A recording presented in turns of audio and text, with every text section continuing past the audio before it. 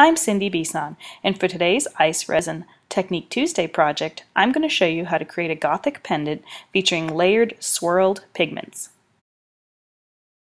Begin by placing an open-backed bezel on a piece of clear packing tape and mix your ice resin according to instructions. Next, pour a thin layer of ice resin into the bezel. Add 2 to 3 drops of black and red earth-safe finishes colorants these are pure pigments, and they have rich opaque tones. Then pour another layer of resin over the drops and repeat with two to three more drops of the pigment colorant.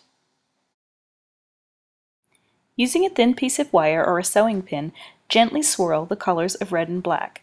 Then carefully remove any excess resin from the outer edge of the bezel.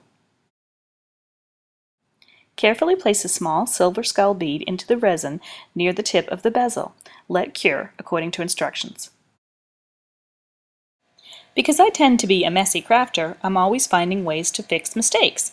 This time I discovered that a Krylon silver leafing pen would help disguise any of the colored resin I was unable to remove from the bezel.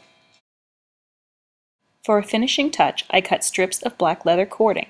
On the first one, I tied a knot on each end and then mounted it to the side of the bezel. For the top strip, I just mounted it to the bezel so that the end was disguised by the knot. And for the third side, I tied a knot in one end of the cording, placed the knot at the end where the top meets, and pushed the other end to the base and mounted. The result is a knot at each corner piece of the bezel. I then added a piece of black cording, also knotted, to hang the pendant. I hope you enjoyed today's Gothic style project. For more creative ideas, visit iceresin.com. To learn more about my art, visit Behind These Eyes at fatcatcreations.blogspot.com.